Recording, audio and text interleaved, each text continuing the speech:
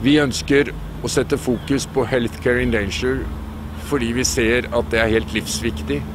At folk på alle sider og alle frontlinjer får den hjelp og støtte og beskyttelse de trenger. Vi ser at uh, helsearbeidere, frivillige Røde Korsere og representanter fra Røde Halvmåne blir skutt og drept mens de hjelper syke og sårede, mens de gir støtte til barn som har mistet mor og far, mens flyktninger internt og mellom land flykter. Og nettopp derfor så må vi utfordre alle politikere i alle land til å forsvare det internasjonal humanitær rett egentlig er. Retten til beskyttelse og retten til hjelp på alle sider av alle frontlinjer.